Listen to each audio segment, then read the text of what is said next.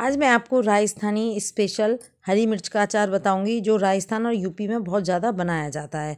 वैसे तो ये हर जगह बनाया जाता है और इसको बनाना भी बहुत ही आसान होता है। देखिए, इस तरह से हमने यहाँ मोटी मिर्च ली है, इनको अच्छे से धो के टॉवल से पहुँच लिया है। इनमें पानी बिल्कुल नहीं रहना चाहिए, इस चीज़ का ध्यान रखिएगा। और मैंने यहाँ पर तीन से चार चम्मच सरसों का तेल, आप चाहें तो रिफाइंड ऑयल ले सकते हैं, पर अगर आपके पास सरसों का तेल है तो वो यूज़ करें। अच्छे से गर्म कर दिया है और इसको बंद कर दिया है। अब इसमें हम मसाले क्या ऐड करेंगे? ये देखिए, इसमें देखिए मैंने जीरा लिया है, राई लिया है, कलौंजी, कश्मीरी लाल मिर्च, मेथी दाना और हल्दी लिया है।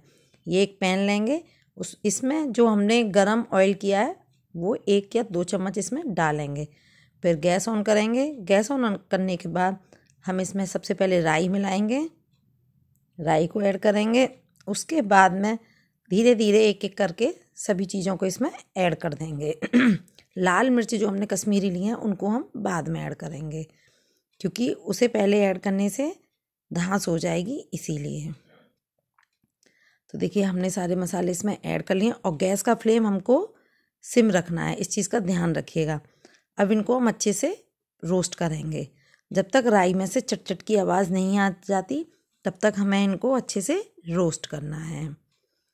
आप अगर मसाले भून कर कोई भी अचार डालते हैं तो जो मसालों की फ्रेगनेंसी होती है, फ्रेश फ्रेगनेंसी, वो बहुत ही अच्छी आती वो बहुत ही अच्छी आती है। और अगर मसालों में थोड़ा सा भी गीलापन या सीलन होती है ना, भूनने से वो भी चली जाती है। उससे क्या है, आपका अचार ख़राब नहीं होता लॉन्ग टाइम तक। अगर इनमें ज़रा भी मॉइस्चर होता है मसालों में तो अचार भी ख़राब होने का डर रहता है। तो आपकी मेहनत बेकार जाती है। उसमें फफूंद भी बहुत जल्दी लग जाती है। अब देखिए, इसमें देख रहे हैं आप, दिख रहा है आपको राई चटर पटर करने लगी है, देखिए। अच्छे से। उसके बाद में हमने यहाँ पर कश्मीरी लाल मिर्च डाली है। लाल मिर्च का यूज़ हम सिर्फ़ कलर देने के लिए कर रहे हैं। ये हल्दी पाउडर डाला है और उसके बाद ये कलौंजी डाली है। सबको अच्छे से मिक्स कर देंगे और गैस का फ्लेम ऑफ़ कर देंगे। देखिए, अब मसाले अच्छे से भुन चुके हैं और भरने के लिए भी तैयार हैं और अब हम इनको ठंडा होने देंगे। जब तक मसाले ठंडा हो रहे हैं, तब तक हम अपनी जो हरी मिर्च हैं, उनमें मसाला भरने के लिए तैयार कर लेते हैं। और इससे पहले हम इसमें नमक डालेंगे। मैंने यहाँ पर काला नमक डाला है, सादा नमक नहीं डाला। आप चाहे खाने वाला जो सादा नमक आता है, वो डाल सकते हैं।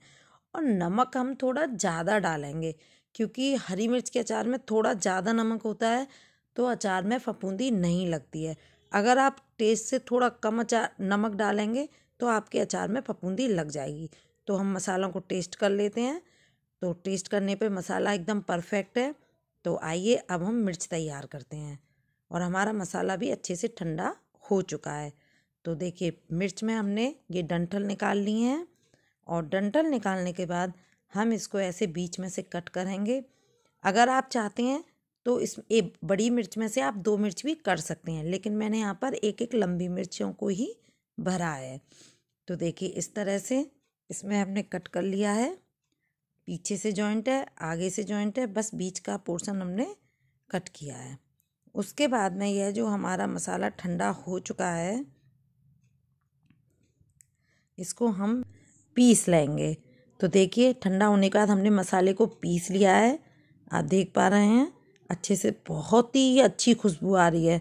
मतलब रोस्ट करने के बाद जब मसाले को पीसा है तो उसमें बहुत ही अच्छी खुशबू आ रही है। फिर हम वापस से थोड़ा नमक टेस्ट करेंगे। नमक मुझे थोड़ा सा कम लगा। तो मैंने थोड़ा सा और काला नमक डाल दिया, क्योंकि जब हमारे मसाले पिस गए तो उसमें नमक की अच्छे से मिक्स हो गया। मिक्स होने के बाद उसमें मुझे थोड़ा कम नमक लगा। तो ये देखिए मैं वापस से काला नमक ही ऐड कर रही हूँ। थोड़ा ज़्यादा नमक होना चाहिए हरी मिर्च के अचार में। तो नमक का विशेष ध्यान रखें, क्योंकि बिना नमक के या कम नमक के इसमें फपून लगने का डर रहता है। अब देखिए हमारा मसाला बिल्कुल बनकर तैयार है और हमने इसमें ज़्यादा ऑयल का भी यूज़ नहीं करना है। और फिर हम इसमें एक से दो चम्मच जो हमने ऑयल गरम किया था, वो डालेंगे। पहले दो चम्मच डाला और बाद में दो चम्मच डालेंगे। बस हमने चार चम्मच तेल का यूज़ किया है। इससे ज़्यादा तेल का यूज़ नहीं करना है। इसी से हमारा अचार बहुत ही टेस्टी बनेगा। तो देखिए, इस तरह से हमने इसको अच्छे से तेल को इसमें मिक्स कर दिया मसालों में, क्योंकि अच्छे से मिक्स हो जाए। इसकी अच्छे से कोडिंग कर लें। तो थोड़ा तो देखिए, अब हमारा जो मसाला है, वो परफेक्ट बनकर तैयार है। ज़्यादा ऑयली ऑयली हमें नहीं करना है।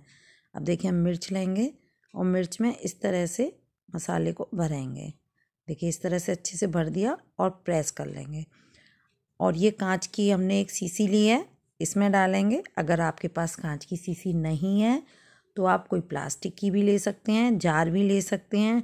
और कोई डोंगा भी ले सकते हैं। अगर कांच की सीसी है, उसमें स्टोर करना चाह रहे हैं तो बहुत ही अच्छी बात है। उससे क्या है, आपका अचार जल्दी ख़राब नहीं होगा। और इसको धूप में सुखाने का भी झंझट नहीं है। आप इसको धूप में भी बिल्कुल नहीं सुखाएँ। अब देखिए, हमारा जो हरी मिर्च का इंस्टेंट अचार है, वह बनकर तैयार है। आप इसको खा सकते हैं और आप इसे मिस्सी, मक्के की रोटी के साथ खाइए। बहुत ही यमी लगता है। अगर आप मेरे चैनल पर न्यू हैं तो प्लीज़ मेरे चैनल को सब्सक्राइब कीजिए, लाइक कीजिए और वीडियो को शेयर ज़रूर कीजिए। Thank you so much for watching.